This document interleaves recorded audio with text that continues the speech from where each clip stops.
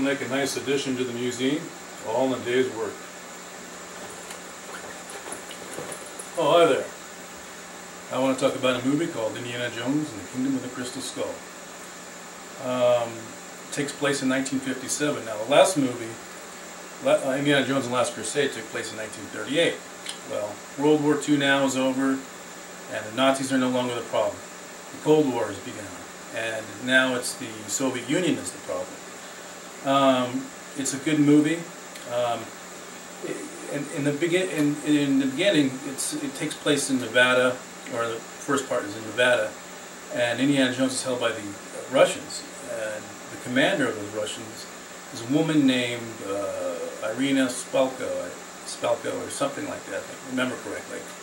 Anyways, um, she needs Indiana Jones to show her where, you know, help them find the, the crystal skull. He gets away, and he eventually meets up with, uh, uh, you know, Marion Ravenwood, his old flame from Raiders of the Lost Ark. And uh, so they go and they, uh, so anyways, you know, the crystal skull though, what it is, it's, it's, it's of extraterrestrial origin. It's a, it's a skull, you know, uh, an alien skull made out of crystal. And uh, Irina Spalko, uh, she's, uh, you know, obsessed with the occult, the paranormal, and she wants that skull. She wants it for its power and wisdom and knowledge. Um, you know, she wants to get that way.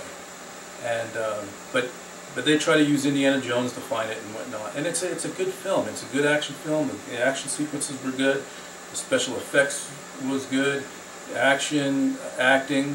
Uh, Indiana Jones has still showed that you know, or Harrison Ford has still shown that he's still Indiana Jones. You know, you know he does he did a good job. He's Indiana Jones, and uh, his punches might be a little bit slower, but hey, as long as he takes care of the bad guys, that's all that matters. And he can still crack a whip pretty good still.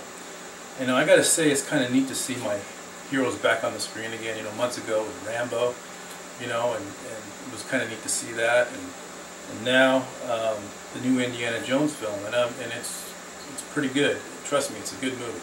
You got to see it. Uh, it's a good movie to take with the family, friends, you know, whatever. Memorial Day weekend movie. It's you'll you'll, you'll really like it.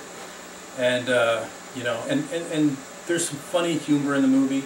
You know, there are times when people are applauding and, and cheering and and you know laughing. People are having a few laughs. Some of the humor is good, and some of the humor is a bit, you know, too much.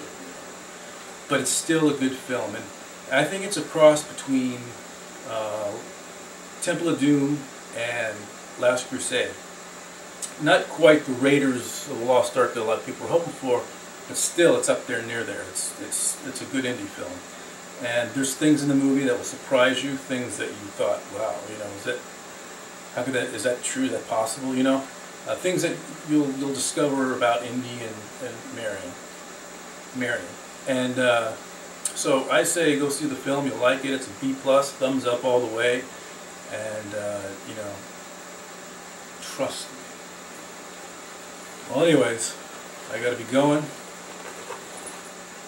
and here's my relic of the day.